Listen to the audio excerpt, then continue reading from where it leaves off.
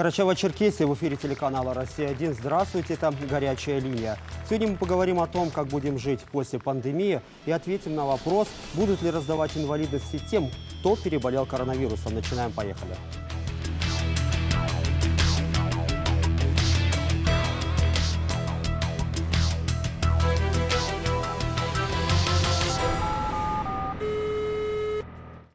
Дорогие наши зрители, мы работаем в прямом эфире. И сегодня на ваши вопросы будут отвечать министр здравоохранения Карачаева-Черкесии Казим Шаманов.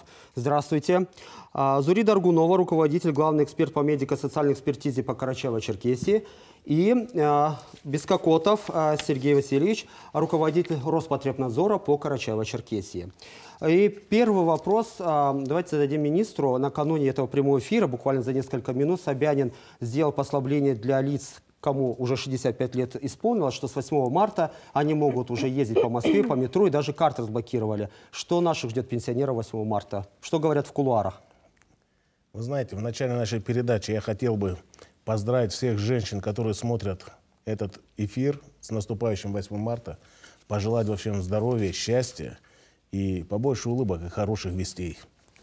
А на ваш вопрос я бы хотел ответить, вот рядом со мной сидит руководитель Роспотребнадзора – все э, карантинные мероприятия, все мероприятия, связанные с какими-то ограничениями, выносятся руководителем оперштаба, это главой республики, с одобрения и в том числе с рекомендаций руководителей Роспотребнадзора, руководителя Министерства здравоохранения.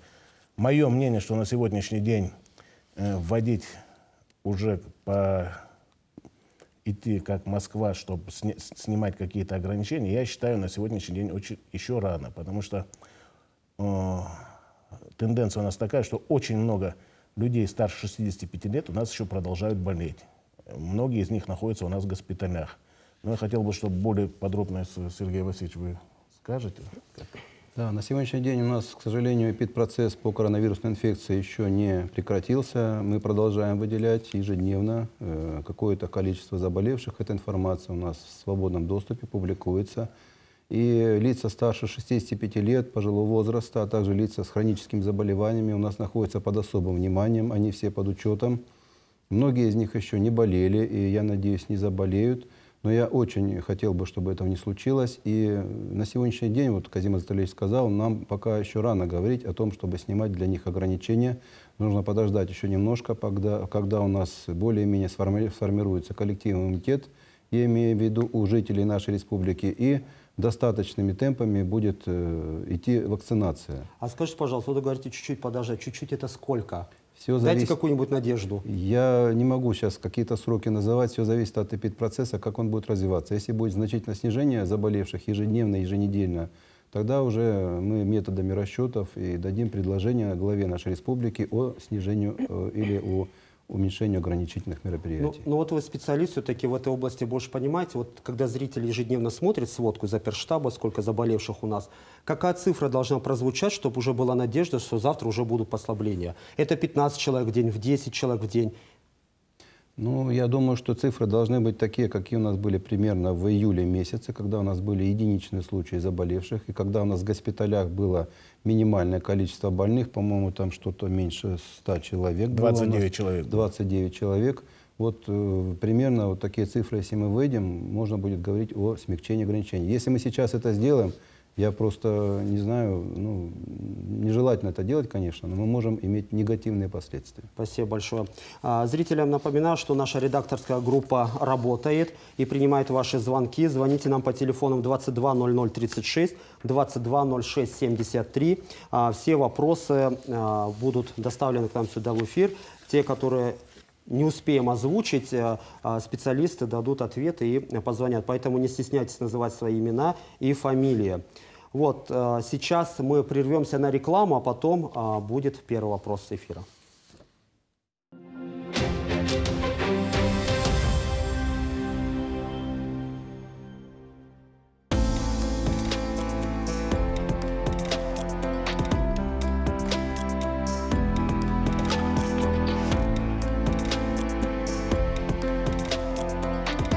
Дарите эмоции. 585 «Золотой». Весна будет чудесной. с Московским индустриальным банком. Рефинансируйте кредит по ставке не выше 8,8% годовых. Оставьте заявку на сайте minbank.ru или приходите в офис. Московский индустриальный банк. Грандиозное шоу династии Багдасаровых в Кисловодском цирке с 13 марта. Биберленд. Миру сыр.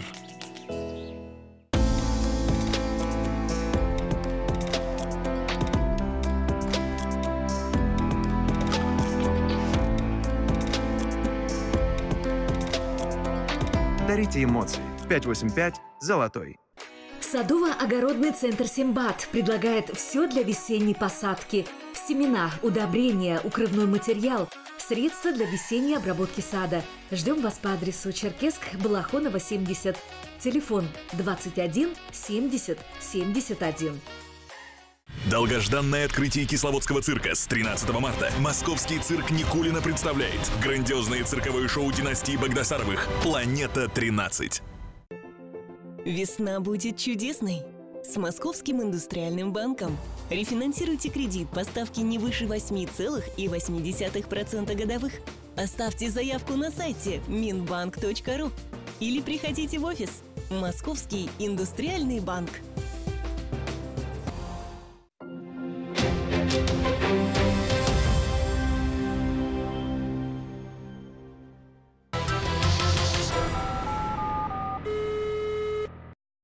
Это «Горячая линия» телеканале «Россия-1». Мы работаем в прямом эфире. И вот перед самым эфиром нам, к нам дозвонился Николай Степанович Пшеничный, город Черкесск, улица Международная, инвалид первой группы по зрению. Очень просим обратить внимание на то, что когда к нам инвалидам по зрению по вызову приезжают участковые терапевты, они практически никогда не измеряют температуру и давление. Или у слепых не бывает температуры и давления. Хотелось бы, чтобы для нас таких исключений не делалось. Общество слепых убедительно просит министра здравоохранения КЧР определить одного курирующего нас терапевта, который как семейный доктор будет знать нас всех и наши проблемы. Заранее благодарим, чтобы каждый раз новому врачу не рассказывать всю свою биографию. Вы знаете, Лечащий врач по основному заболеванию, я понимаю, что это может быть и единственный, который знает их основное заболевание, с которым они получили инвалидность. А участковые терапевты, они по территориальному признаку распределяются. Некоторые живут э, в том районе, который обслуживает э, медико-санитарная часть на сегодняшний день, это лечебно-реабилитационный э, центр. Некоторые наши инвалиды живут э, другой части города, которую обслуживает городская поликлиника. Есть у нас инвалиды, в том числе и по зрению, которые живут в, рай... в других районах и городах нашей республики. Поэтому признак участковости, я считаю, на сегодняшний день более оптимальный. Тем более один врач, который будет закреплен, он имеет право на отдых, он имеет право на отпуск, он в конце концов может тоже заболеть. Поэтому, чтобы не прекращалось э, диспансерное наблюдение этих групп. Поэтому я считаю, что на сегодняшний день это прописано в приказах Министерства здравоохранения, согласно им мы и работаем, регламент нашей работы прописан. Поэтому при, э, есть э, участковость, где каждый участковый врач от, отвечает за свой участок. Но то, что вот говорят, что должны измерить температуру, давление. давление, я полностью согласен, что есть порядок э, осмотра наших пациентов, в том числе порядок осмотра и на дому, в которые эти процедуры являются обязательными. И я обязательно этот вопрос подниму перед руководителями наших э, поликлинической службы, которые выезжают на дом, чтобы этот вопрос у них был на контроле. Спасибо. Жительница Черкесска, Какачевская Нина Ивановна, 68 лет, инвалид второй группы. Недавно обратилась к невропатологу в республиканскую поликлинику. Врач рекомендовала сделать срочно МРТ. Но так как вес Нины Ивановны 118 килограмм, то ей было в этом отказано. А на вопрос пациентки, где можно пройти МРТ, врачу было сказано, не знаю, спросите у министра. Многие люди сталкиваются с данной проблемой, у которых большой вес. И все же, где можно сделать МРТ людям с немаленьким весом. Вот она получила возможность спросить у министра, как советовал врач. Э, если это плановое, то на сегодняшний день э, врач имеет право поставить ее на очередь до двух недель, если это плановое МРТ. Если это по жизненным показаниям, мы делаем в тот же день. А что касается нашей пациентки, вы, если есть, дайте мне ее номер телефона, мы с ней сами свяжемся, и мы сделаем МРТ или на базе республиканской больницы, или на базе То есть все-таки это возможно делать? Мы сделаем МРТ, конечно. Так, э, Нина Ивановна, вот к вам э, обращаемся. Вы э, назвали себя и все, но нет вашего телефона. Пожалуйста, дозвонитесь в нашу редакторскую группу, дайте ваши контакты, и вам сделают МРТ. Так, далее. Тамара Капушева из Черкесска спрашивает. В Карачаево-Черкесии в начале пандемии было очень много медиков, которые вообще отрицали коронавирус. Медики размещали в различных соцсетях аудио и видеообращения к народу и просили не паниковать и не верить информации о появлении новой инфекции. За год ни одного медика не привлекли к такой какой-либо ответственности за fake news. Была даже комичная ситуация, когда пожилая медсестра из Карачаевского района делала видеообращение о масках и социальной дистанции. Потом появилось видео, где она говорит, что ее заставили это говорить, а так коронавирус – это чушь. Сейчас немало врачей и медсестр, которые фыркают и отговаривают от вакцинации. Как с этим мракобесием бороться? Потому что а, наша зрительница, она верит и в коронавирус, и в вакцину, и что она поможет. Вы знаете, в коронавирус может не верить только человек, у кого есть какие-то проблемы с восприятием этого мира. Потому что мы все столкнулись с этой проблемой. Многие из нас сами прошли через, это, через эту болезнь. Многие из нас работали в госпиталях, видели это воочию все. И когда в начале, я помню, это не только медработники Карачаева-Черкесии, это и многие ученые мужи рассказывали, что это обычный грипп, что это мы пройдем на ура, завтра победим, и завтра все будем вместе работать. Но, но э, эпидемиология, вирусология показала, что на сегодняшний день это очень серьезное заболевание, которое может привести к очень плачевным результатам, если относиться к этому халатно. На сегодняшний день тот, тот, кто отговаривает от вакцинации, честно сказать, вот э, я слышал выступление одного очень уважаемого человека, который сказал, тот, кто не вакцинируется и сидит дома, это его право. Тот, кто не, не вакцинируется и выходит э, и общается с людьми, он создает прямую угрозу этим людям. Он прямо сказал, что это, это преступление на сегодняшний день, потому что любой из тех, которые не, э, нету там антител, который заболел, он является угрозой для всего общества. А тем более это те, которые работают в тех профессиях, где часто приходится сталкиваться с людьми, где э, это в том числе, в первую очередь, я даже сказал, это медработники. К нам на прием чаще всего приходят люди, как, имеющие какие-то проблемы со здоровьем. И если, не дай бог, медработник их еще и заразит ковидом, не будучи привитым или который отрицает привит, то на сегодняшний день у нас в законодательстве есть определенные статьи, которые, за которые он, он- по которым он понесет ответственность. А то, что не привлекали их к ответственности, ну, как вы помните, э, в конце 2020 года только Госдума одобрила э, закон, по которому за Привлечение привлечение уже вплоть до уголовной ответственности до двух лет лишения свободы за то, что люди недостоверную информацию могут выдавать. Может ли переболевший коронавирусом или привитый сотрудник организации не выходить на работу или уйти, и уйти на самоизоляцию, потому что он был в якобы контакте с инфицированным? Дело в том, что особенно в бюджетных организациях есть товарищи, злоупотребляющие правом карантина. Они не ходят на работу. Заставить их трудиться не могу. Боюсь, что меня обвинят э, в ковидном богохульстве и предвзятом отношении. Но ведь контакт с больными – это замкнутый круг. Кто будет работать, если любой контакт с больным освобождает от работы? Может, у Минздрава или Роспотребнадзора есть полезный, полезный совет для работодателей, чтобы законно заставить человека работать? Прошу не называть моего имени, таких несчастных директоров, как я, очень много. Ну, если можно, я отвечу. Дело в том, что иммунитет, в том числе против коронавирусной инфекции, вырабатывается примерно через полтора месяца после или перенесения болезни, или после вакцинации. За эти полтора месяца человек, который, например, получил прививку, он также может заразиться и заболеть, потому что защита у него пока в организме не сформировалась. Но я не считаю, что это дает ему право просто-напросто не ходить на работу, если он не был контактным. Он может ходить на работу, но соблюдать меры предосторожности, то есть носить маску, обеззараживать руки, проветривать помещение. Это гарантирует практически на 100%, что он и сам не заразится, не, раз- не заразит кого-то из своего коллектива. Такого права, я считаю, у человека нет находиться дома, и работодатель может применить к нему свои меры. То есть, получается, если я пошел куда-нибудь на свадьбу, там выясняется, что кто-то заболел, а я уже давно переболел коронавирусом, может быть, даже мне привили. Могу ли я вам, как начальнику, сказать, вот я там был контактным лицом, не приду на работу в ближайшие две недели? Вот этот человек, который был на свадьбе, где-то выявился больной, он должен быть обследован методом ПЦР-диагностики, то есть мазком, на наличие у него коронавирусной инфекции. Если мазок покажет отрицательный результат, у него нет оснований. Но дело в том, что в любом случае он э, может даже если заболеть, то заболеть не сразу, через некоторое время. Ну, пока я позвоню, пока мазок возьму, пока результат придут, уже с понедельника по пятницу 5 дней пройдет, Да. два выходных, и уже можно если мазок неделю. отрицательный, он может точно так же ходить на работу. Но если он будет официально контактный, существует определенный инкубационный период, 14 дней, в который он должен находиться дома. Мы таких людей, естественно, выявляем методом обзвона, опроса и выдаем им постановление. Они должны находиться дома. Только в случае, если не был прямой контакт с заболевшим. Кулизар Шавхаловна Батрукова села Чапаевского спрашивает, улица Центральная, 243. Я обращаюсь к вам от имени, от своего имени, еще четырех таких же пациентов, как э, я.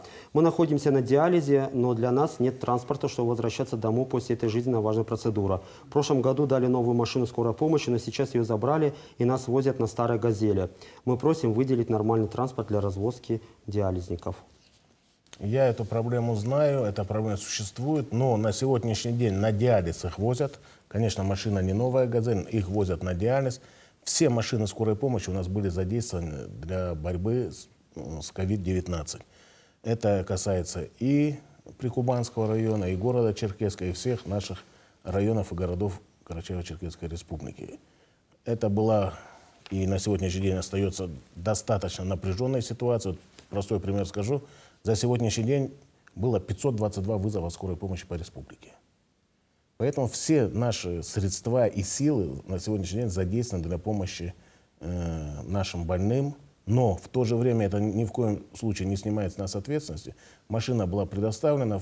Когда будет ситуация уже более благоприятна, мы, конечно, тот транспорт, который у них был, мы им, конечно, вернем. Спасибо.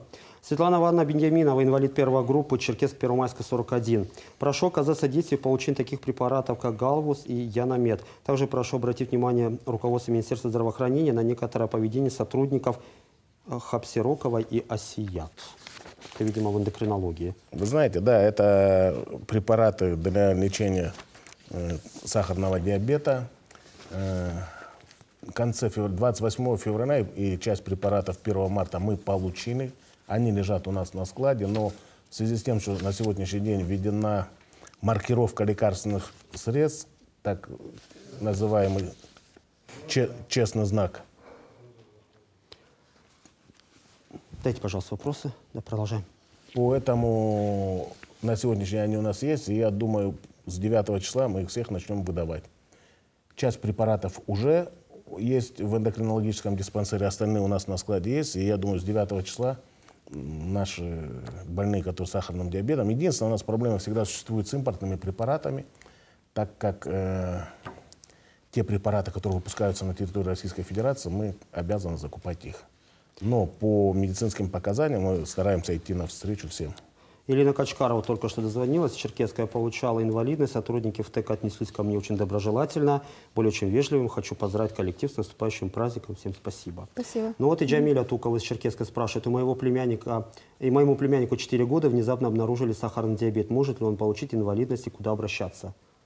Э, Добрый вечер. Э, Конечно, по э, месту жительства к профильному врачу при наличии стойких ограничений жизнедеятельности оформляется направление на МСЭ, э, по электронном, по по в электронном виде передается в наше учреждение, и мы проводим экспертизу без участия и детей, и взрослого населения. Это по последнему временному э, порядку э, этот определение То инвалидности. есть если у ребенка есть сахарный диабет, ему инвалидность положена.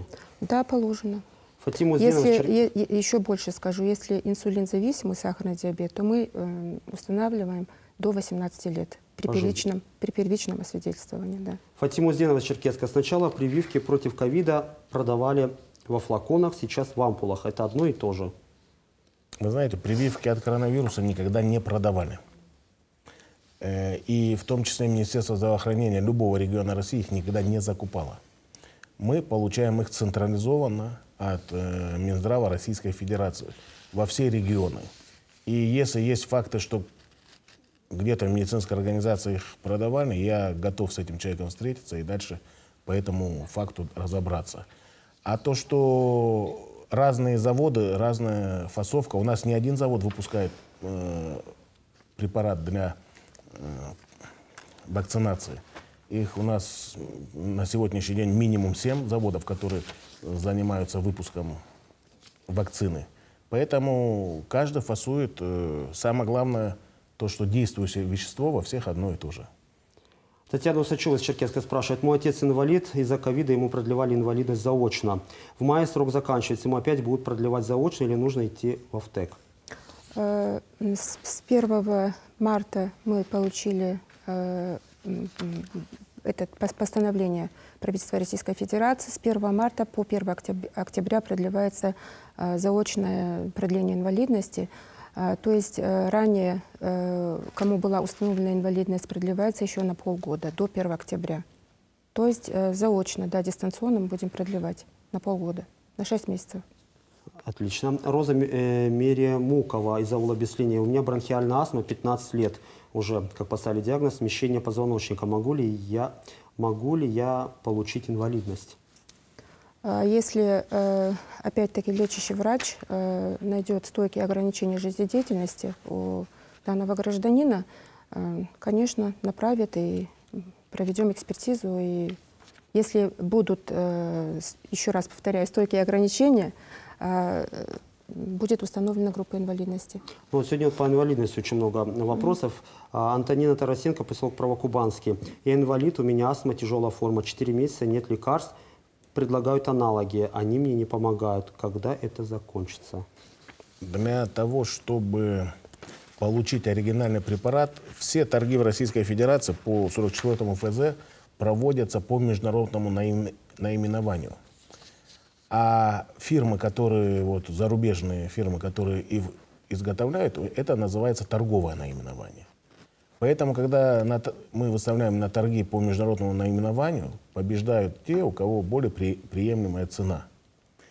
И чаще всего это бывают дженерики. Так, аналоги это, это дженерики. И если у человека э, есть противопоказания, э, или данный препарат э, не является для него Э, препаратом выбора, это все устанавливает комиссия медицинского учреждения, где, к которому он при, приписан. Вот Медицинская... как она может она обратиться? Чтобы она установить? обращается к своему лечащему врачу, он смотрит ее состояние, если данный препарат не действует, там комиссионно принимается решение о приобретении не по международному наименованию, а именно по торговому наименованию. Это заключение приносится к нам в Минздрав, и по этому заключению, приложив это заключение, мы уже отдельно персонифицированно проводим именно закупку данного препарата для данного человека. То есть, получается, у нашей зрительницы есть шанс получить лекарство? Конечно, все зависит от того, что, э, от решения той комиссии, где она, будет, где она лечится. Кишмахов э, Мухадин Александрович из Авлапсыш. В ноябре прошлого года мне была сделана операция на коленном суставе. С того времени пытаюсь получить направление на реабилитацию, но мне в районной поликлинике отказывают, ссылаются на отсутствие необходимых препаратов. Могу ли я пройти реабилитацию в другом месте и что для этого необходимо сделать? Вы знаете, э, о реабилитации, вообще это третий этап реабилитации, это когда уже человек прошел уже и первый, второй, первый, второй, это при лечебных учреждениях, то, что он хочет дальше пройти реабилитацию, просто надо понять, он хочет в лечебном учреждении, мы ему поможем, у нас есть лечебно-реабилитационный центр, э, мы можем направление дать туда. Если он хочет пройти где-то санаторно-курортное лечение, то это уже надо обращаться в соцстрах. Да. Нурсиат Халиловна, Зеленчукский район. Я переболела ковидом, два раза уже делали КТ. Сейчас мне необходимо лично плановое лечение, а в больнице опять требуют результаты КТ, хотя тест на ковид у меня отрицательный. Сколько можно себя облучать? Почему такие требования? Таких требований нет. Есть э, показания, вот когда она ложится э, в учреждение на лечение или профилактику, там уже лечащий врач решает, нужно КТ делать или не нужно. Все зависит от того процента поражения, который у человека был, когда он лежал у нас э, в госпиталях, и это является диагностическим подспорьем для любого доктора, для того, чтобы понять, э, идет ли на, на какой стадии процесс выздоровления, чтобы понять, э, если было раньше 80%, куда сегодня идет человек со своим здоровьем, какие лечебные мероприятия дальше надо назначать, чтобы улучшить состояние нашего пациента. А насчет облучения по КТ на сегодняшний день это цифровые аппараты и как если смотрели, один из этот, э, руководителей Роспотребнадзора сказал, что э, перелет на самолете трехчасовой равняется к одному КТ. Поэтому тут... Э, в продолжении темы по э, предоставлению отрицательного теста при госпитализации, вот Рита, Кишмахова спрашивает, а почему нет э, бесплатного тестирования при госпитализации на коронавирус, потому что она уже устала платить деньги, потому что везде требует этот результат, а везде это только платно делается. Для чего тогда полис ОМС нужен? Вы знаете, этот, э, более полутора тысяч тестов ежедневно делается бесплатно у нас в республике. Одна из основных наших лабораторий находится на базе Роспотребнадзора. Мы совместно тестируем. Есть тестирование по медицинским показаниям. Есть тестирование, когда человеку это надо для устройства на работу, э, да, да, пере, да. Э, поездки в санаторно-курортное э, там, учреждение. Для, сейчас во многих местах требуют эту справку, поэтому по медицинским показаниям делается все бесплатно. Полис, полис медицинского страхования дается для оказания бесплатной медицинской помощи по показаниям. Вот куда человеку надо обратиться, если ему надо госпитализироваться, и от него требуют тест, чтобы получить это бесплатно? Если Потому это... что вот та же Рита говорит, а, вот стою в очереди, а я госпитализируюсь, тоже плачу, и те, кто по Турции мотается, тоже стоят и делают и это Она платно. должна обратиться к своему участковому терапевту, и она он, обязана выдать он, направление. Она ее направит, и дальше она пройдет тестирование. Да? Валентина Семеновна Изиева спрашивает тоже про жизненно необходимые препараты. Ну, как уже сказал министр, с 9 марта начнут выдавать, правильно? Да, да, да. да. Дальше. Александр а, Иванович Итыль, инвалид третьей группы, Черкес Гутикулова, 36. Мой диагноз – хроническая обструктивная болезнь легких. Почему с октября? Ну, тоже лег... Э, препараты с 9 марта появятся.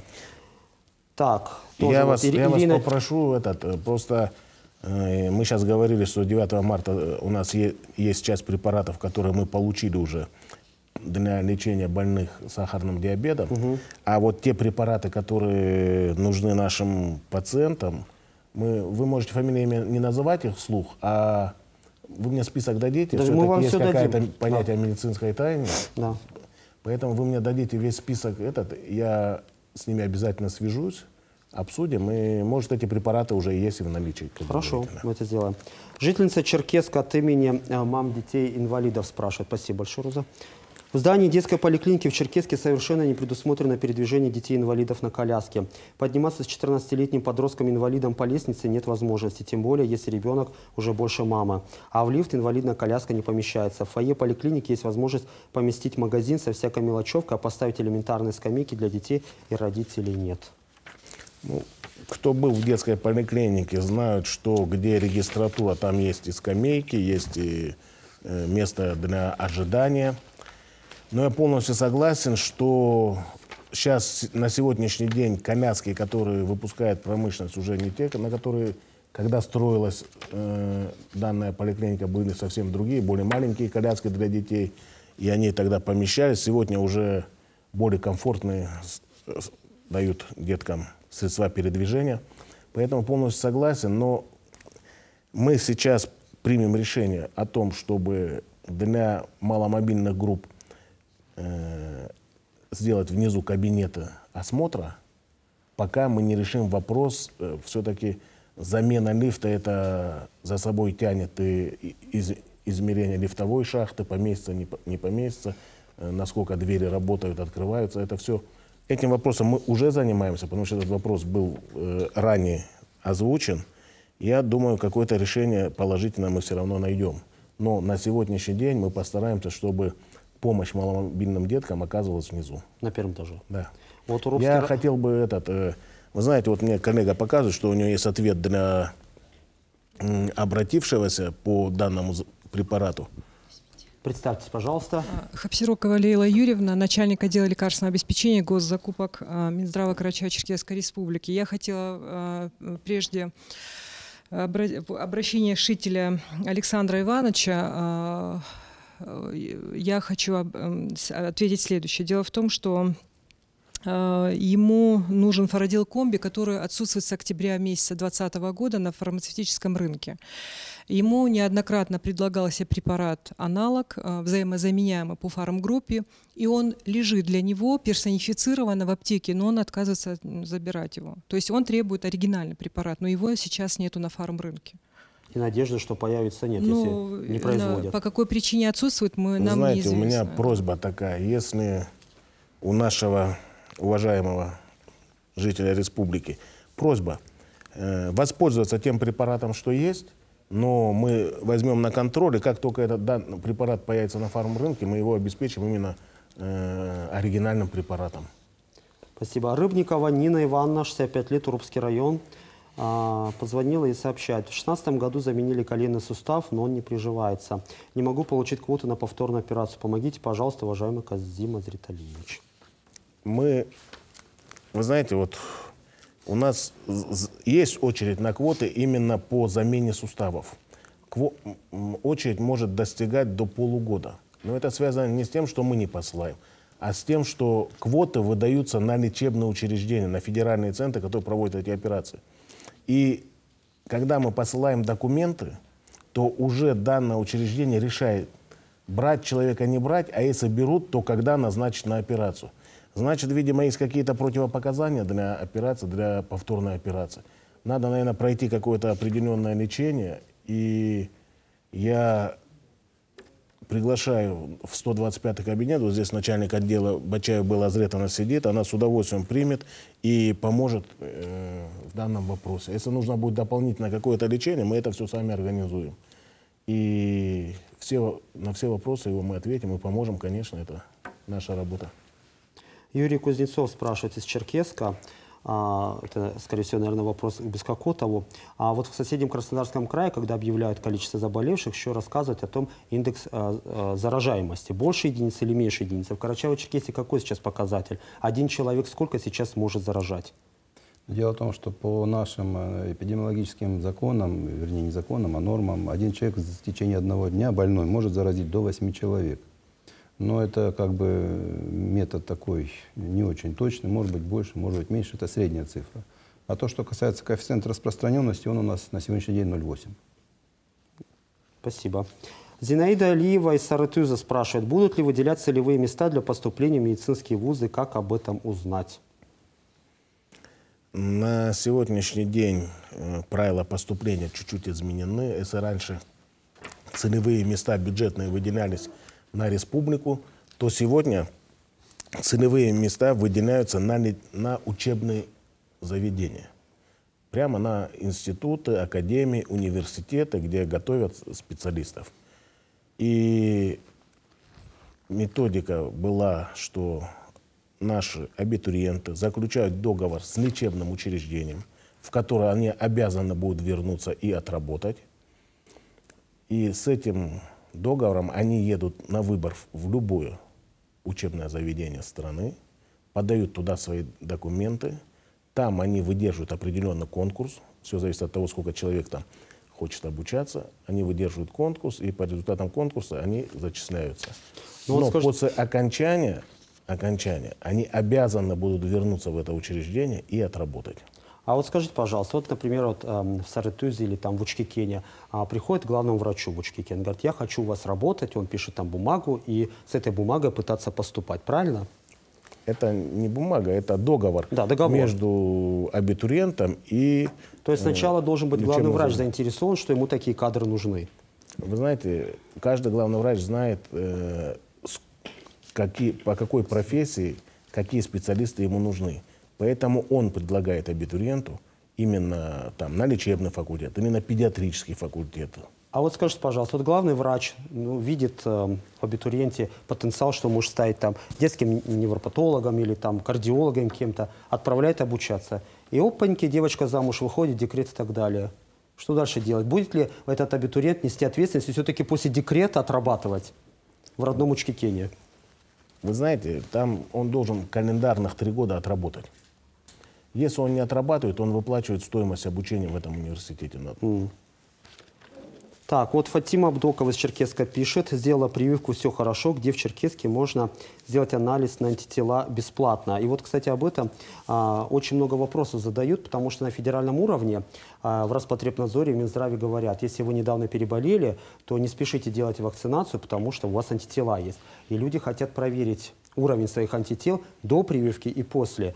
И давайте мы ответим на этот вопрос после рекламы на канале «Россия-1».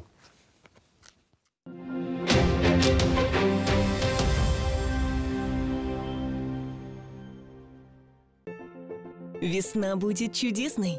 С Московским индустриальным банком. Рефинансируйте кредит по ставке не выше 8,8% годовых. Оставьте заявку на сайте minbank.ru или приходите в офис. Московский индустриальный банк. Долгожданное открытие Кисловодского цирка с 13 марта. Московский цирк Никулина представляет грандиозное цирковое шоу династии Багдасаровых «Планета 13».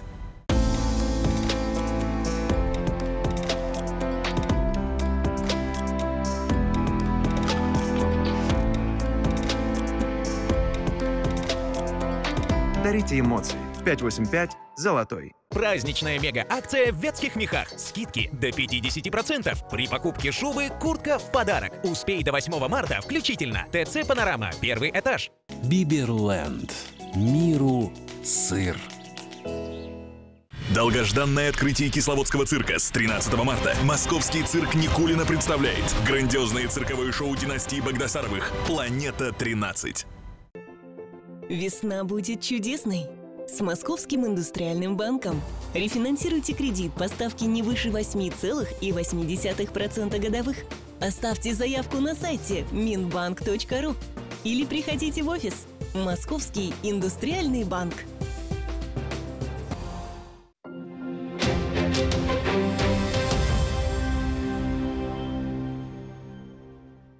Утро – это прилив бодрости и желание творить.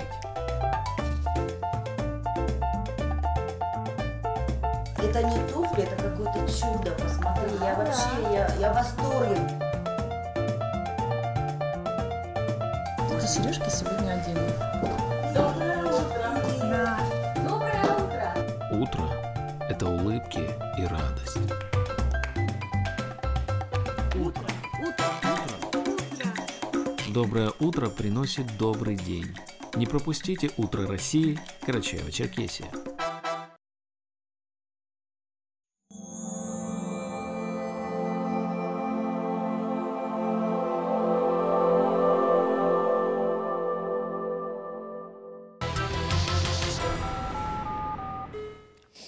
Это «Горячая линия» телеканале «Россия-1». Мы работаем в прямом эфире. И вот сейчас мы хотим получить ответ на вопрос, можно ли сдать бесплатно анализ на антитела до прививки и после прививки. Вы знаете, люб, любой анализ, он, тем более этот анализ связан с забором крови, это является медицинской манипуляцией. Любая манипуляция, она имеет э, свои последствия, поэтому она назначается только по рекомендации врача. Вот у нас у каждого есть свой участковый, есть свой лечащий врач, если мы имеем какие-нибудь хронические заболевания. Они должны обратиться к своему участковому врачу, и если есть медпоказания для того, чтобы он прошел тест на антитела, конечно, это будет тест сделан в медицинских целях, будет сделан бесплатно. А если для информативности этот тест нужен, то тогда это делается все за счет средств граждан. Да. Вот. Нуристан Албота из Черкеска. Хочу выразить благодарность всем сотрудникам городского бюро МСЭ за чуткое отношение. Мы с мамой приезжали получить инвалидность, к нам отнеслись по-человечески, с огромным уважением и вниманием. Э, дальше та же Марина Абдуразакова из Нижней Тибирда. Ребенку моему дали инвалидность, отнеслись очень внимательно, ничего не требовали. Спасибо. Лариса из Черкесской инвалид первой группы. Хочу поблагодарить всех сотрудников ТЭК, сказать им спасибо. Мне была нужна пересадка печени, мне все сделали, было быстро, очень качественно. Сразу же без проволочек дали инвалидность. Скажите, пожалуйста, что произошло с Автек что вот сегодня вместо того, чтобы люди говорят о том, сколько стоит получить инвалидность, выражают вам благодарность и говорят, что вы ничего не взяли. Совершенно бесплатная процедура, поверьте мне. Ничего не произошло. Работаем в тесном сотрудничестве с э, э, лечебно-профилактическими учреждениями, с Минздравом. У нас работа пошла, у нас работа идет хорошо. Мы работаем во благо нашего народа. Спасибо большое. Мгм. Так, далее. А, Я нахожусь на гемодиализе, также у меня вторая степень диабета инсулинозависимая в текущем году. То тоже про лекарства. Вот те, кто сейчас подключился к телевизору, скажите, пожалуйста, что произойдет 9 марта с лекарствами, на что надо надеяться? У нас закончился этап регистрации данных лекарственных средств, которые находятся у нас в КЧР фармации, и они будут э, переданы для того, чтобы те, кто в них нуждается, и у кого есть выписанный рецепт, они их получат. Руслан Муташев из Черкесска. Можно ли делать прививку от ковида онкологическим больным? Я спрашивал врачей, мне говорят, это на ваше усмотрение, что мне делать? Сергей Васильевич, как вы Если можно, я отвечу. Дело в том, что назначать прививку, разрешать ее имеет право только лечащий врач после всестороннего изучения состояния здоровья пациента. То есть он должен посмотреть, какое у него заболевание, на какой стадии, в стадии обострения, в стадии ремиссии. Возраст больного учитывается, учитывается, был ли он в контакте с инфекционными больными за последнее время. Ну, там много очень факторов. То есть одним э, словом отвечу, обратитесь к своему лечащему врачу, и он вам э, скажет, можно вам делать прививку или нет. Вот я чувствую, как сейчас наш зритель пытается парировать с вами. А если врач не хочет брать на себя ответственность и сказать, делать или нет, и говорит, на твое усмотрение. Ну, Потому что знаете- ведь тяжелый случай онкологически больной. Я считаю, что врач в любом случае берет на себя ответственность, когда принимает пациента, назначает ему какое-то лечение, какие-то лечебные препараты. Это точно такая же процедура, лечебное проведение вакцинации. Поэтому любой врач должен на себя брать ответственность, а так э, я не думаю, что врач должен говорить. Анна Кириенко, 72 года, а, Черкесск. Идет агитация делать прививку от пневмокока пожилым людям. Я пришла в поликлинику, медсестра сказала, что таких прививок в Карачаево-Черкесии нет и не будет. Я позвонила в наше Министерство здравоохранения. Молодой человек мне очень доброжелательно сказал, но вам же доктор все объяснил. Я ему объяснила, что это не врач, а медсестра. На что он мне ответил, что она просто так молодо выглядит. На этом наша беседа закончилась. Так есть ли у нас вакцина от пневмокока или нет? Вы знаете, это входит в календарь э, вакцин, и это сезонная прививка. Вот когда Перед придет, началом эпидсезона. да, перед началом эпидсезона у нас будет данный, данный препарат, и мы будем их обязательно, особенно старше 65 лет, мы их будем обязательно прививать. Так, э, из Иконхалка э, звонок. Я делал несколько раз колоноскопию с наркозом в Ставрополе. Делают ли ее в Карачаево-Черкесии? Конечно, делают у нас кар- А кратчайшие вы можете адреса, пароли, явки дать? Куда можно обратиться? У нас э, и в онкоцентре делается, у нас делают в городской больнице, но сейчас там ковид-госпиталь находится. Также у нас э, в республиканской больнице данная процедура делается. И в лечебно-реабилитационном центре. А скажите, пожалуйста, если из Иконхалка лечащий врач даст направление, можно ли это сделать бесплатно? По направлению врача по медицинским показаниям, конечно, это будет сделано бесплатно. И еще вот вопрос из Иконхалка. Лечат ли в Карачаево-Черкесии бессонницу? Есть ли у нас сомнолог? Так называется, да, по-моему, врач? Сомнолог, да, у нас в республиканской больнице есть специалист, у которого есть э, сертификат. Но вы знаете, для начала надо понять, с чем связана бессонница. Наверное, надо сначала обратиться или к невропатологу, или к терапевту, и дальше уже он направит. Вот, а, Валерий Карданов с Черкесска спрашивает, почему в Карачаево-Черкесии пенсионерам не проводится протезирование по ОМС? Вот протезирование чего, не уточнил. Я как понимаю, протезирование зубов. Зубов, наверное. Э, Вы знаете, на сегодняшний день есть группы, имеющие льготу, но на сегодняшний день эта льгота заменена монетизацией, они получают деньги, и в связи с этим они протезируются э, за свой счет. Та группа людей, кому положено бесплатное протезирование, они должны обратиться в республиканскую или стомат-поликлинику государственную по месту жительства, их там поставят на очередь, и дальше им, я думаю, будет оказана помощь. Любовь Ивановна Литвинова, город Черкес, 72 года. Я уже три года принимаю редкое лекарство Эликвис. Он пропал из аптек. Когда он появится в продаже, от него очень зависимо. Ну, я могу сказать, что в нескольких аптеках знаю, что он продается, недавно сам покупал. Это же не жизненно важное бесплатное лекарство. Это препарат, кроверазжижающий препарат на, на сегодняшний день. Там Эликвис, Ксарелта есть аналоги, они есть в аптечной сети.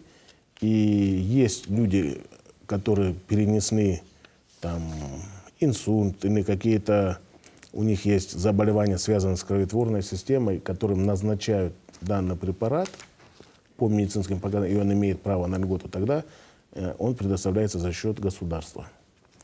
Дышекова Марьят с Черкесска. Мужу два раза делали операцию на сердце, год назад сделали шунтирование. В городской поликлинике нам сказали, что инвалидность нам не положена. Так ли и что нам дальше делать? Муж работать не может. Я Две операции. Э,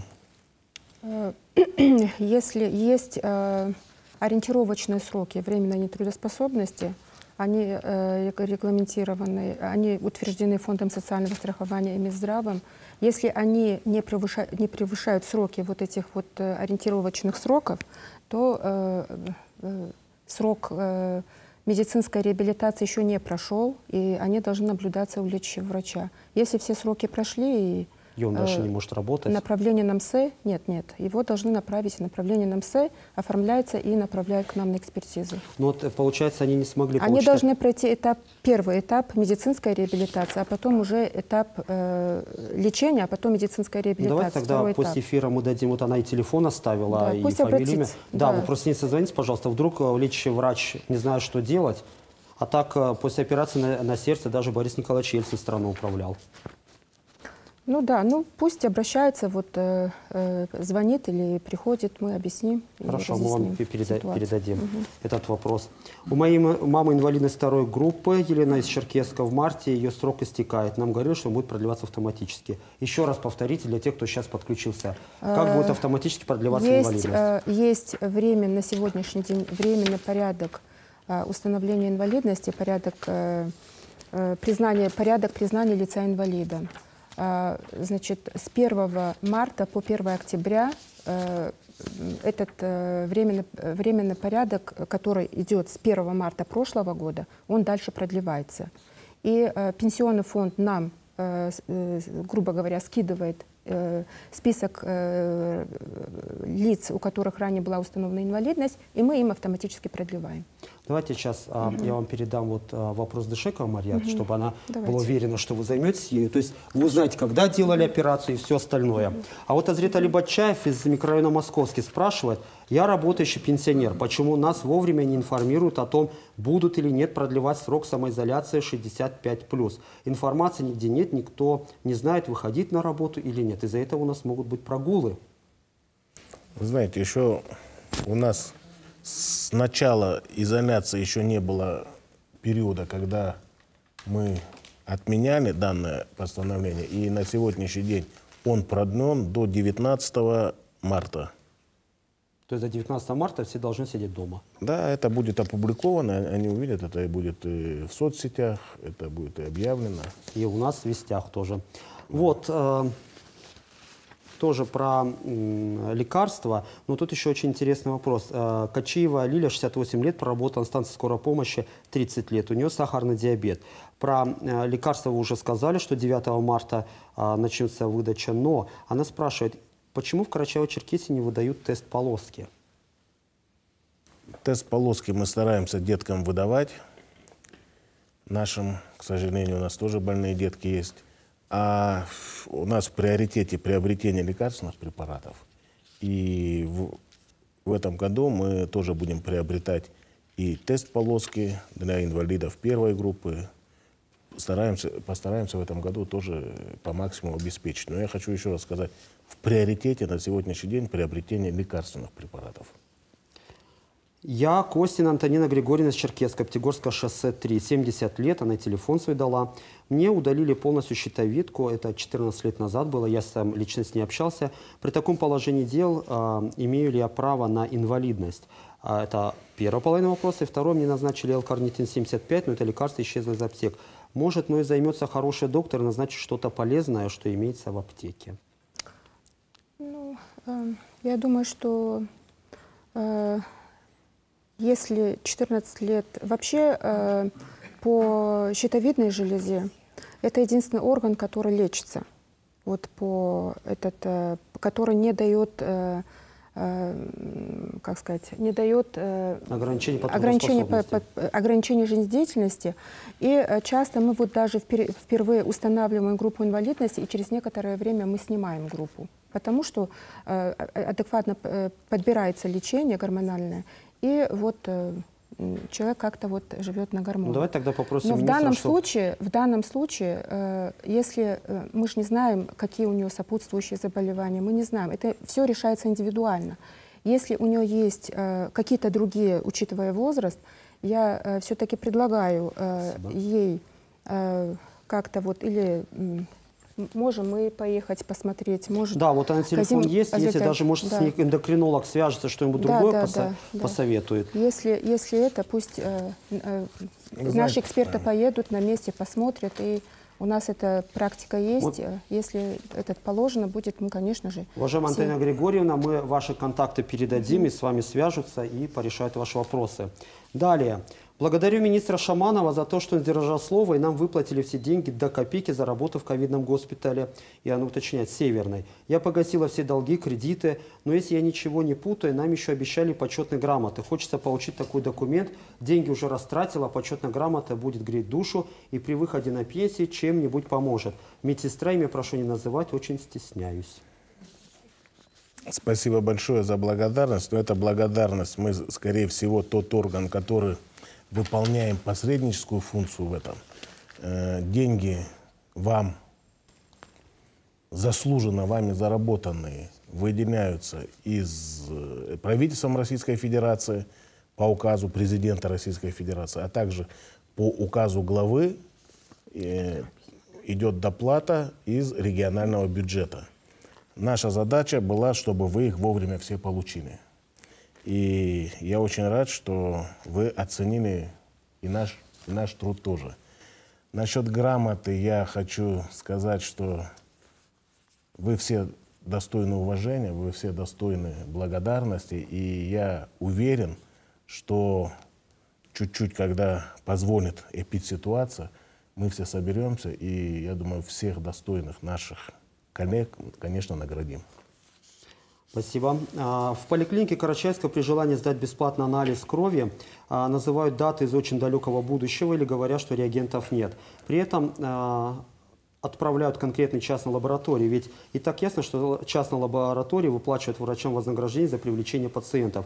В чужой карман смотреть нет желания, но бесплатную медицину никто не отменял. Мне кажется, что делая недоступным бесплатные анализы, некоторые медики занимаются дискредитацией Минздрава. Может, министр создаст тайную комиссию и попробует осуществить контрольную сдачу бесплатных анализов. Мариам Курджиева, Карачаевск. Спасибо большое, Мариам. Я, я полностью с вами согласен, что никто не отменял бесплатную медицину по медицинским показаниям. И если мы с этим будем бороться только вместе. Вот ваше обращение, вот я не буду афишировать, готов вас всех выслушать э, на приеме. И также мои коллеги, которые здесь сидят в министерстве, мы готовы вас выслушать. Э, если не хотите, не будем говорить, кто. Фамилия, имя, отчество наших коллег, которые вас направляют на платные анализы. Я не исключаю того, что есть какая-то заинтересованность, хотя я уверен, что в здравоохранении республики работает, и особо пандемия это показала, 90%, а может и больше тех, которые добросовестно выполняют свою работу. Но если есть те, которые где-то пытаются лукавить, я готов выслушать, только мне надо знать точно кто, что, и я обещаю, что не будем То афишировать. есть выдавать тех, кто вам жалуется, вы не будете? Ну, вы знаете, э, они же не только за себя беспокоятся. Есть, За по- близких, да. есть понятие то, что там выдал, кто жалуется, а есть понятие, когда человек, потому что каждый из нас от этого не застрахован. Завтра мы можем оказаться в той ситуации, когда нас пошлют куда-то сдавать анализы за большие деньги. Поэтому на- пока мы здесь работаем, мы должны выполнить свой долг и в то же время обезопасить жителей республики от тех людей, которые пытаются незаконно на них зарабатывать деньги. Плешков Юрий Юрьевич спрашивает. У меня сын инвалид, синдром Дауна. Ему требуется лечение зубов под наркозом. Ранее этот вопрос уже поднимался, но по причине ковида завис. Будет ли он решаться в дальнейшем? И дальше он хочет выразить благодарность. Моя мама 94 года перенесла ковид. Хотим поблагодарить врачей урологического отделения за внимание и оказанную помощь. Ну, маме здоровья и с наступающим праздником. А данный кабинет у нас уже создан на базе детской больницы республиканской. Данный кабинет есть, функционирует, просто надо обратиться, там назначат день, потому что э, подача наркоза это достаточно серьезная медицинская э, манипуляция, и поэтому ну, нужны определенные анализы, нужны определенный э, медицинский подход. Я думаю, что все это реально, и обрати, они могут обратиться в детскую, еще раз повторю, республиканскую больницу, и там этот вопрос они решат. Так, э, Герматенко Тамара Павловна спрашивает, с прилавка аптек пропал преднизолон, я от него очень зависима. Его нет даже в скорой. Никакое другое лекарство мне облегчения не приносит. Какое лекарство появится в аптеках? Знаете, у нас, э, честно сказать, мониторинг аптек я сейчас я обязательно завтра узнаю, есть ли он в аптечной сети, но на скорой помощи он есть. Есть его аналоги. Это гормональный препарат. И поэтому вы создадите мне телефон, и мы свяжемся, мы дадим поручение нашему лицензионному комитету, он узнает, где, в каких аптеках есть данный, данный препарат, по какой цене, и мы ее проинформируем. Вот, Тамара Павловна, вы позвоните, пожалуйста, к нам еще раз и назовите свой номер телефона. Не стесняйтесь, чтобы вам сказали, где эти лекарства имеются. А, Финцева Галина из Черкеска спрашивает, имеются ли в городской больнице программаторы для проверки импортных кардиостимуляторов?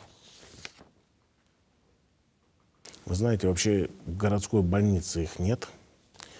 И кардиостимуляторы проверяют ну, сосу... у нас есть сосудистый центр, где проверяют, но там, вы знаете, их э, много видов, много типов, поэтому на все типы у нас не может быть оборудования.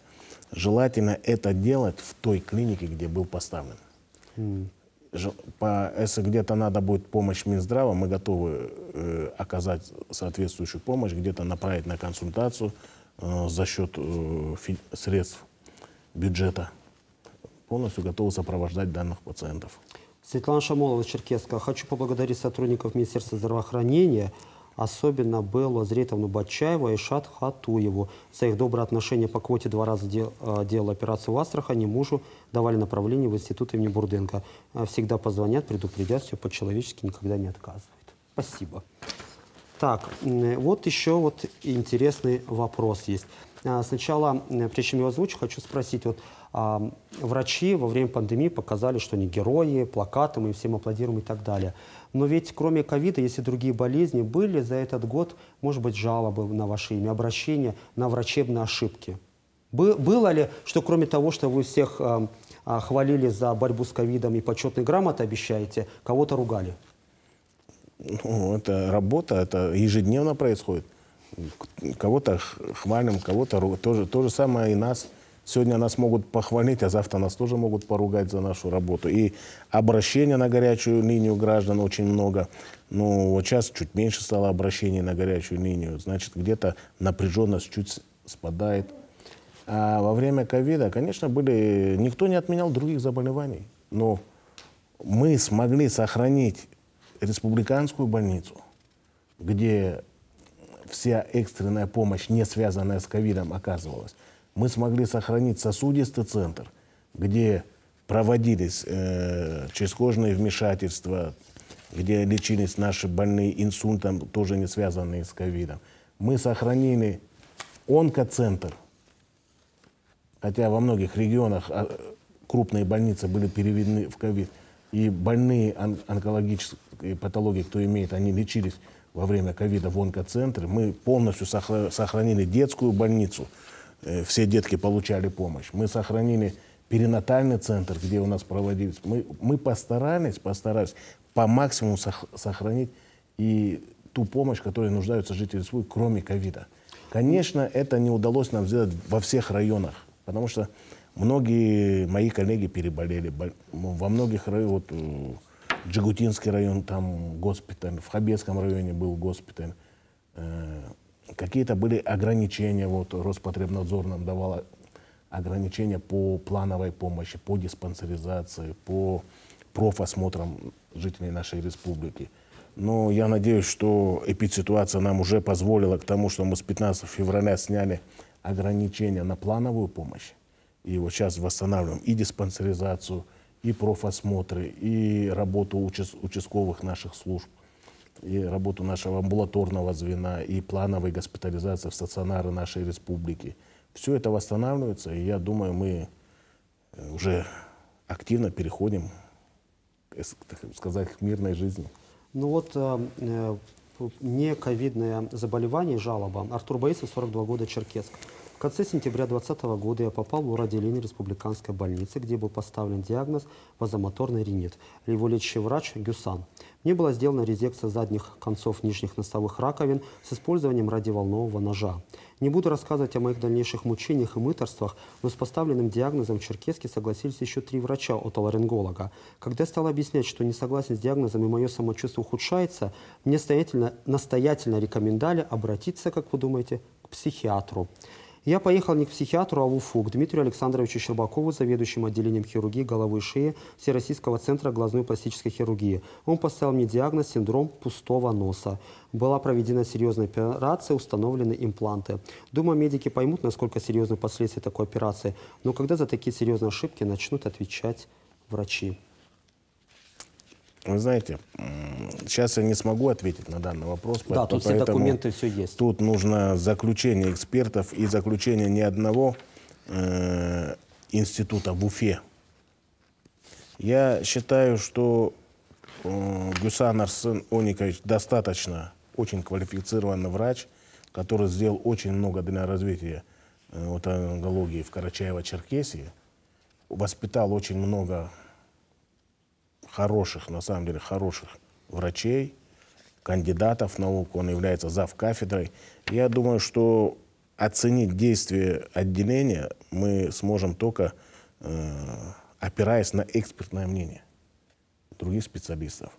Поэтому вы передайте нам да, да, жалобу, и дальше мы уже будем рассматривать ее в порядке. Крупала Валентина с Хасауд Греческого дозвонилась до нас и хочет поблагодарить Казима Зриталевича за то, что он лично принял участие в оказании мне помощи во время болезни, контролировал доставку лекарств на дом, когда тяжело болела. Спасибо большое. Шагошева Марина из Черкеска спрашивает. В октябре вся наша семья переболела ковидом, но ни одной таблетки, ни, никакой компенсации не было. Чего нам ждать в дальнейшем? Ведь в других регионах компенсация выплачивается. Вот может, до нее не дошли таблетки? Про компенсацию вот. тоже не слышал, что в других местах Вы знаете, дают. Ну, нету. Просто, как говорит, сарафан радио может рассказывать, что платят компенсацию. Были разговоры, что всем больным, кто перенес ковид, дадут автоматически или инвалидность, или какие-то выплаты. Лекарствами обеспечивались по назначению врача только те, у кого были серьезные симптомы, достаточно симптомы заболевания. Если человек его переносил в относительно легкой форме, то в лекарственной поддержке он не нуждался. Но да, были перебои с поставкой лекарств. Я не отрицаю, что были перебои с поставкой лекарственных средств в амбулаторное звено, но на сегодняшний день компенсации нету. Фатима Саратюза спрашивает, мне 58 лет, до пандемии предлагали сделать замену тазобедренного сустава. Тогда я побоялась, теперь готова. Но, видимо, из-за коронавируса боялась, куда мне обратиться, чтобы получить квоту? Давайте на этот вопрос а, ответим после рекламы на канале «Россия-1».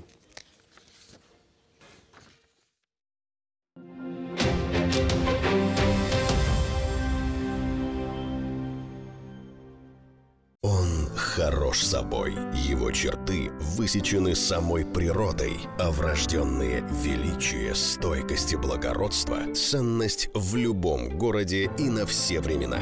Диван Ричард – сердце вашей элегантной обстановки. Ангажемент. Город Черкесск. Улица Октябрьская, 392. Классика жилых кварталов.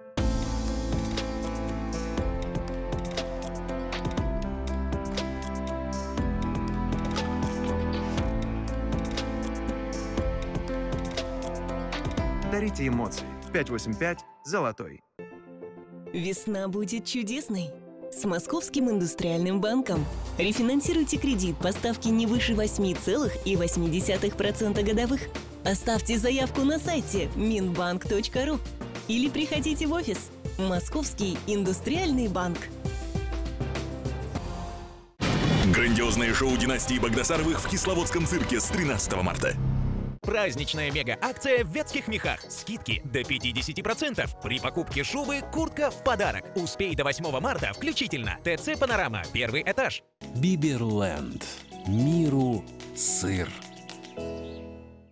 Садово-огородный центр «Симбат» предлагает все для весенней посадки. Семена, удобрения, укрывной материал, средства для весенней обработки сада. Ждем вас по адресу Черкесск, Балахонова, 70.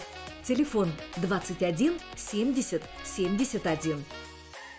Долгожданное открытие Кисловодского цирка с 13 марта. Московский цирк Никулина представляет грандиозное цирковое шоу династии Багдасаровых «Планета 13». Весна будет чудесной. С Московским индустриальным банком. Рефинансируйте кредит по ставке не выше 8,8% годовых. Оставьте заявку на сайте minbank.ru или приходите в офис. Московский индустриальный банк.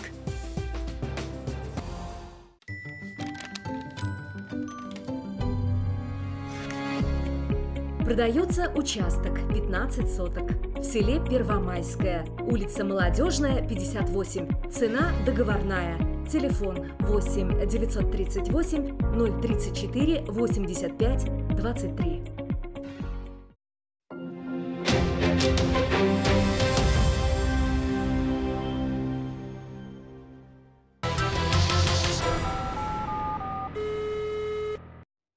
Это горячая линия телеканала «Россия-1». Мы работаем в прямом эфире. И вот на вопрос Фатимы Сарытуза, которая э, хочет э, заменить сустав, она боялась это сделать из-за коронавируса, теперь уже согласна. Вот Белла Батчаева ответит. Пожалуйста. Добрый вечер. Ну, прежде всего, нашей пациентке надо обратиться э, в медицинскую организацию по месту прикрепления. Это будет Усть-Джигутинская центральная районная больница, к врачу-травматологу или хирургу, э, подготовить пакет необходимых документов для того, чтобы мы в дальнейшем направили по электронной системе в федеральное медицинское учреждение, где ей проведут замену сустава. Сейчас в условиях ковид все это делается дистанционно, поэтому, пройдя необходимый перечень медицинского обследования, пациентка получит эту помощь. То есть, получается, э, сбор документов должен происходить в районе? Да, по месту а, прикрепления. А то иногда кажется, вот люди придут к вам на прием, вы скажете им, там, соберите документы, а людям кажется, что вы придираетесь. Нет, все пациенты, которые к нам обращаются, они знают о том, что им нужно пройти необходимое обследование. И без этого никак? Да. Ну, это безусловно, это условия э, для получения высокотехнологичной медицинской помощи. Спасибо вам большое. Ирина Николаевна Вихлянцева, 82 года, из Черкеска. Почему ни в городской, ни в республиканской больнице не делают УЗИ суставов по полюсу? А вот платно, пожалуйста. Вы знаете, я еще раз хочу вернуться к этому, что любая медицинская, будь то процедура, будь то обследование, оно все делается только по назначению врача и по медицинским показаниям. Если это человек хочет для себя понять, что-то этот э, болит и сам обращается в лечебное учреждение, да, его могут направить на э, платный прием. Но если он направляется туда по медицинским показаниям или участковым врачом-терапевтом, или лечащим врачом, то эта процедура делается бесплатно. То есть надо обратиться к врачу, если да, не помогает, то пол... к вам? Однозначно. Так, э, Георгий Урусов из Костахитагурова дозвонился до, нам 20, до нас. 21 год объявлен годом здравоохранения. От имени жителей нашего села прошу помочь выделить а, автомобиль нашему ФАПу. Год вообще это год медицины. И мы обязательно рассмотрим вопрос по выделению автотранспорта в село Костахи-Тагурово, да. это Карачаевский район. Мы этот вопрос возьмем на контроль, посмотрим, в каком состоянии находится сейчас санитарный транспорт, э, какой район обслуживает. И в зависимости от этого будет решен вопрос о введении того или иного автотранспорта. Марина Чагарова спрашивает из Черкесска, она вот, видимо, чуть позже присоединилась к нашему эфиру. Цены протезирования очень высокие. Есть ли у нас бесплатное протезирование? Ответьте, пожалуйста, еще раз на, на этот вопрос. Все льготы, они закреплены э, законодательством Российской Федерации. Тот перечень э, жителей России, которые имеют право на льготы, если она попадает в этот э, льготный перечень, она должна обратиться в стомат-поликлинику по месту прикрепления. Там ее поставят в очередь. И, А если льгот нет? Если льгот нет, то на сегодняшний день, я думаю, очень большой выбор сейчас стоматологии у нас в республике, в том числе и в городе Черкесске. Надо просто мониторинг цен сделать, посмотреть и выбрать то или иное протезирование, которое ей доступно. Так, Любовь Ляпина из Джугуты. Когда наша больница будет принимать не только больных ковидом, мы с мужем не можем попасть на стационарное лечение. Я, как понимаю, если она говорит, наша больница, это... Это и- Джугутинская, наверное. А, это, наверное, или Джигутинская, или городская больница. Я не знаю, какую больницу имеет в виду, но Джигутинская больница сегодня работает только на выписку. Э, И я думаю, что в течение там двух недель больница потом она там момент обработки, санитарной обработки учреждения, и после этого она примет своих пациентов, жителей э, Джигутинского района и города Джигуты. Николаенко Лидия Ивановна, Черкес 72 года. Я успешно прошла два этапа вакцинации, чувствую себя хорошо, но мне не дает покоя один вопрос. Что мне дала эта вакцинация? Появились ли у меня антитела, которые в случае заражения помогут мне перенести инфекцию в легкой форме? И вот а, почему не проводятся бесплатные обследования антитела? Вы знаете, при тем, как запустить вакцину в оборот, она прошла три этапа клинических испытаний. У всех, у кого проходила она испытания, вырабатывались антитела в той или иной мере. И то, что она привилась, что это ей дало, это ей дало защиту от этого тяжелого заболевания. И как правильно вот она сказала, любая прививка дает определенный процент, стопроцентной, ну как э, там, про- 91% того, что человек не заболеет. Остальные проценты на то, что он переболеет в легкой форме. Это та же прививка и от гриппа, и остальные прививки, все, что э, идут от э, вирусных заболеваний, это или пол- полная защита, или если человек, не дай бог, заболеет, то это перенесет он в легкой форме. А вот интересный вопрос от жительницы Джигуты. Она назвала свой возраст, но забыла назвать свое имя. Я уже много лет страдал аллергией. Можно ли бесплатно сделать прививку новосибирскую вакцину вместо спутника? По, по новосибирской вакцине я хочу сказать, что она в гражданский оборот должна поступить где-то, ну, я думаю, в 20-х числах марта. Э, Когда получит наша республика, я не знаю, но в ближайшее время, в этом месяце, вакцина поступит. Но она Именно- действительно для аллергиков? Э, Дело в том, что нет, нет такого показания. Какая-то вакцина для аллергиков, какая для диабетиков. Опять же, повторюсь, все решает врач, назначать вакцину или нет. Принцип действия всех вакцин одинаковый. Он э, заставляет организм вырабатывать антитела. Э, зависит все так, вот как Казим Аталич сказал, от завода-производителя, от города и так далее. Так что я не думаю, что именно для аллергиков показана именно эпивак корона. Это не соответствует действительности. И еще раз, отвечая на ее вопрос, хочу всех жителей Карачаева-Черкесии сказать, если с вас хотят взять деньги за вакцинацию, значит, там недобросовестные медработники. Просьба мне такие, о таких фактах сообщать. Можно через э, редколлегию вашу, можно напрямую в Министерство здравоохранения. А, Дарья Иваненко, жительница Черкеска, а, позвонила и сообщила. 22 декабря заболела, у меня подтвердили ковид. Участковая Малика Рашидовна позвонила и сказала, что я ей могу звонить в любое время. Однако, сколько не пыталась ей позвонить, писала в WhatsApp, на связь со мной она вышла только 8 января в 10 часов вечера, причем написала в ответ, я вам говорила про результаты. И все, вопросительный знак.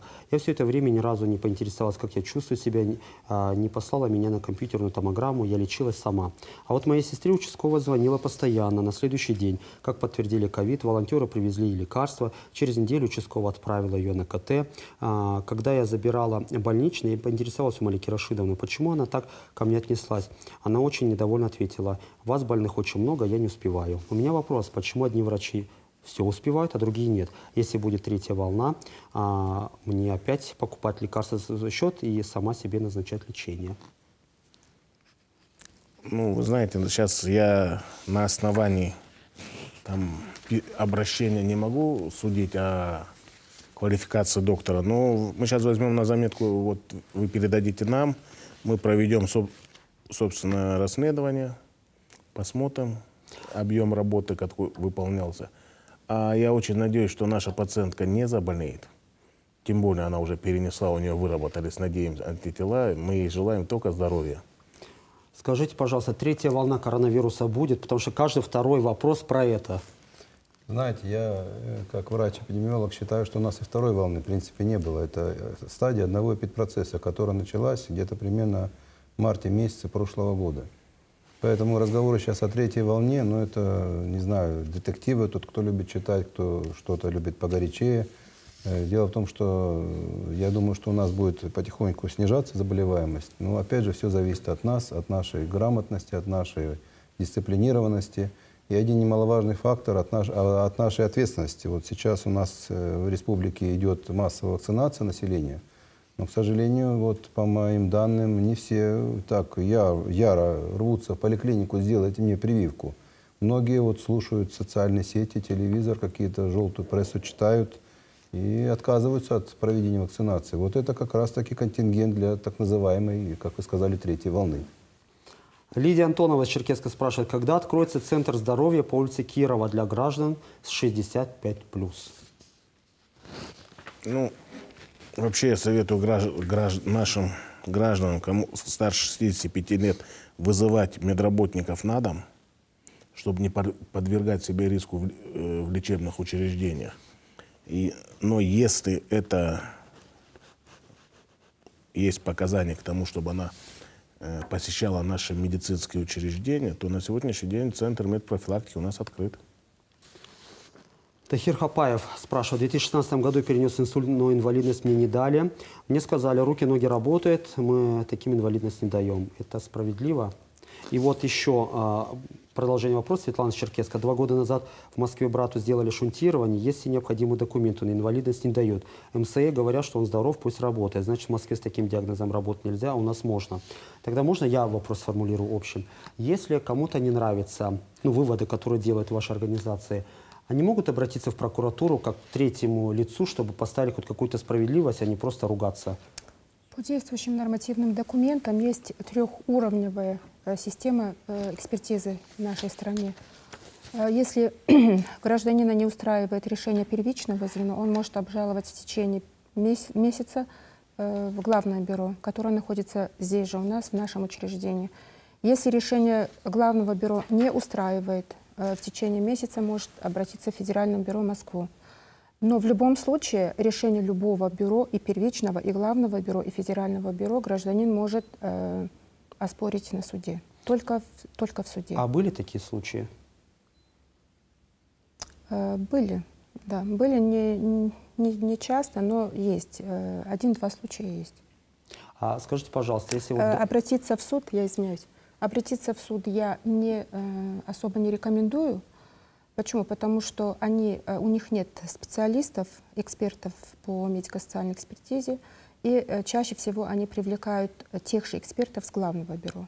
Вот, это, э, во-первых. Во-вторых, это очень, получается, длительно по времени, это оплата э, э, этот, э, за услуги адвокатов и так далее. Я думаю, нужно поступать э, по-современному и вот это вот э, уровни, э, которые сейчас имеются, обратиться в Главное бюро и Федеральное бюро. Сегодня это настолько все объективно, это все э, к этому подходит, что я думаю, что вопрос разрешится даже не доходя до Федерального бюро. А эти граждане, которые вот обратились, если можно, пусть обратятся ко мне. с имеющимися документами. Я Хорошо. разберусь. Вот сейчас э, поговорим о реабилитации постковидных больных. Очень много вопросов. Вообще э, в обязанности врачей, Минздрава и вообще медицинского сообщества входит ли мониторинг здоровья тех, кто уже переболел? Потому что постковидные синдромы появились. Многие реально, люди не стесняются говорить о том, что у них чуть-чуть проблемы с головой появилась, бессонница, а, панические атаки. И вот вопрос, готова ли наша психологическая, психиатрическая служба а, к такому нашествию пациентов, потому что их много? Вы знаете, м, конечно, как любое заболевание, ковид поражает много органов. Особенно если до этого у человека были какие-то проблемы с тем или иным органом или какие-то хронические заболевания, они в постковидном периоде и во время ковида они обостряются.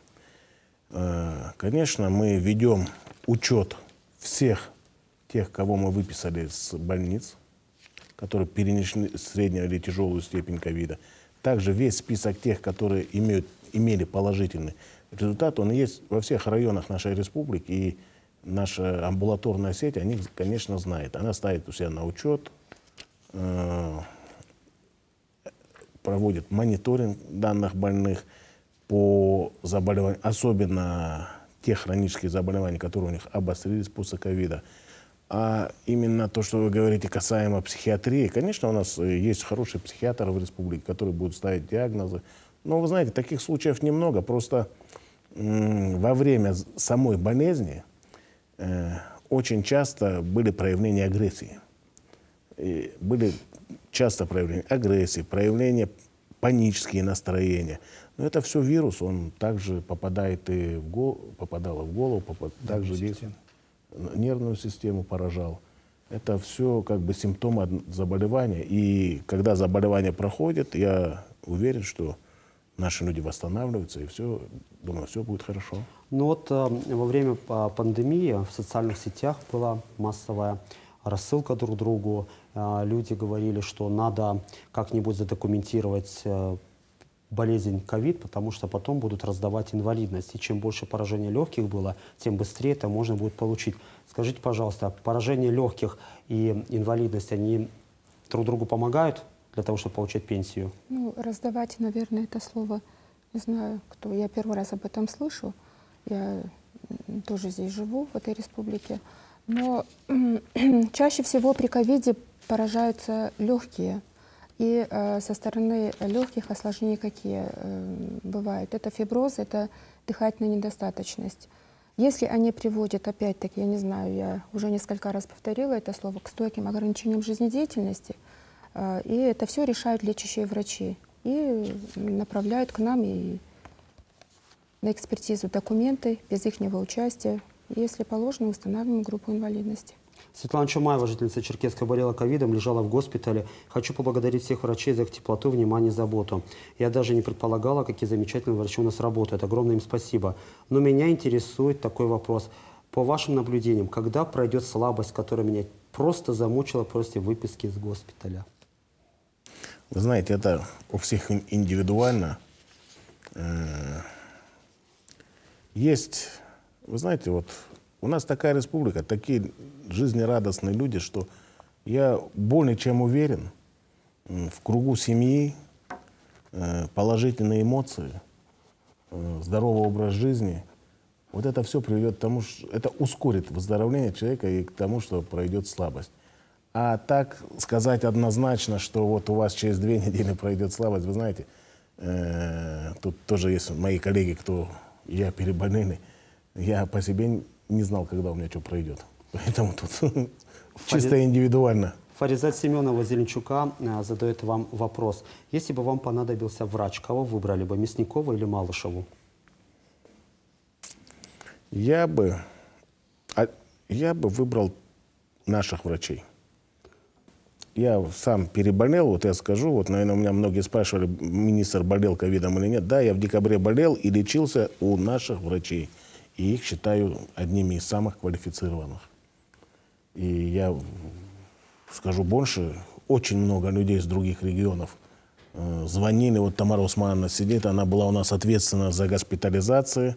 Она знает, что Ставропольский край, Дагестан, там, другие регионы звонили чтобы попасть на лечение к нам. Поэтому я думаю, что с большим уважением отношусь и к Малышевой, с большим уважением отношусь и к Мясникову. Но выбираю, да, Ну, врачей мы поздравляем вас тоже с наступающим а, 8 марта. Вот от нашего телеканала мы дарим вам цветы. Вот. а, будьте здоровы и вы. Прошу. Ну, уважаемый министр, скажите, пожалуйста, подведите итоги. До 19 числа у нас режим самоизоляции продлевается для Да, старше для- 65 да. лет. И 9 числа начнут выдавать лекарства. Верно? Вы, вы- очень хороший вопрос. Я на него с удовольствием отвечу, что до, до, до 19 числа режим продлен. Лекарства, те, которые на сегодняшний день у нас уже поступили, они начнут выдаваться. Э, у нас заключены контракты на поставку, э, потому что много нозологий, которые мы на сегодняшний день должны э, предоставить лекарственные средства. И я уверен, то, что в течение короткого вре- времени эти лекарства все поступят в нашу республику. Но у нас, я еще раз говорю, есть приоритет. Это, конечно, наши больные детки, наши беременные, наши будущие мамочки. Вот те категории, на которых мы в первую очередь стараемся обратить внимание. Я очень извиняюсь перед нашими жителями республики, если где-то мы кому-то вовремя не, не смогли помочь. Но поверьте мне, что весь медицинский коллектив э, Карачаева-Черкесии, все медработники, я еще раз хочу сказать, более 90% э, стараются и работают ради вас. Спасибо большое. Это была горячая линия телеканале «Россия-1». Далее Москва в эфире.